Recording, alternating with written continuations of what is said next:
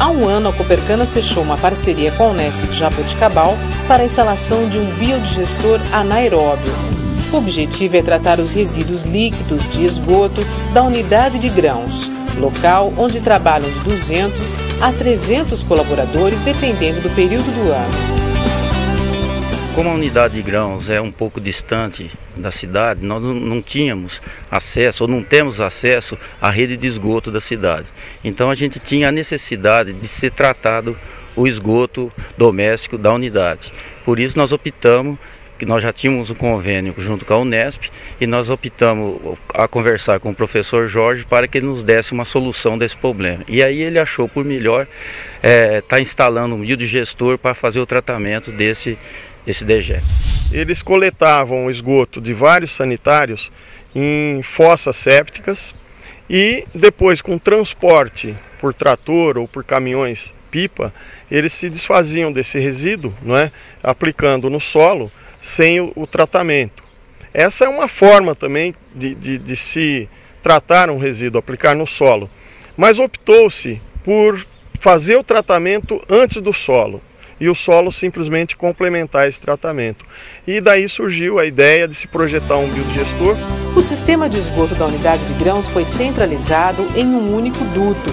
Os resíduos líquidos vão para uma mini estação de tratamento. O líquido é enviado a uma caixa de recepção e distribuição que permite direcionar o esgoto ao biodigestor. A capacidade é de 100 mil litros em seguida, o efluente vai para a lagoa de tratamento. O resíduo que fica estocado no biodigestor por até 10 dias produz o biogás, uma mistura de gases rica em metano.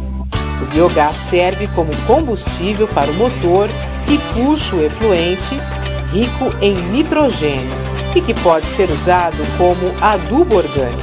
Nós não estamos mais poluindo, né? É, através do biodigestor e outra que esse biodigestor está servindo de modelo para outros cooperados, está olhando ele e vendo os benefícios que ele pode dar a eles nas propriedades deles.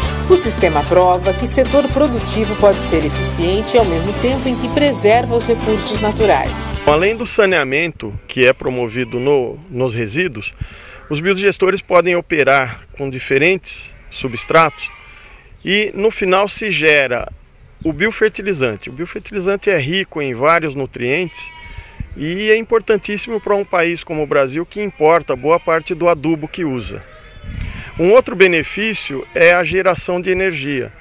É, o produtor rural pode ter energia e aproveitá-la de diferentes formas, na queima do biogás, em energia térmica, pode gerar energia elétrica, pode fazer sistemas de bombeamento, fértil irrigação. Existem casos hoje que propriedade rural não paga mais energia elétrica.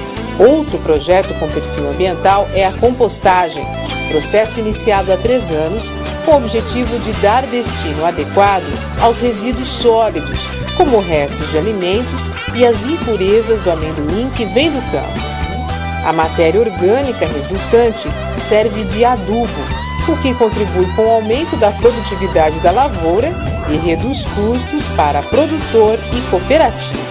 Hoje, com o tratamento desse, desses resíduos, nós obtemos em torno de 700 a 800 toneladas de, de compostagem é, por ano e essa compostagem é, retorna às propriedades dos produtores como adubo orgânico. A adoção de projetos sustentáveis é apoiada também pelos colaboradores.